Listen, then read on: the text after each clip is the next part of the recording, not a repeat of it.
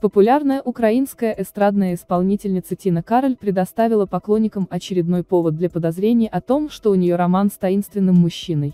Об этом сообщает портал Хвили со ссылкой на официальную страничку певицы в Инстаграм. 36-летняя Тина Кароль недавно побывала в роли гостя на шоу «Голос Абхазии», где удивила ярким образом и не вполне обычным поведением.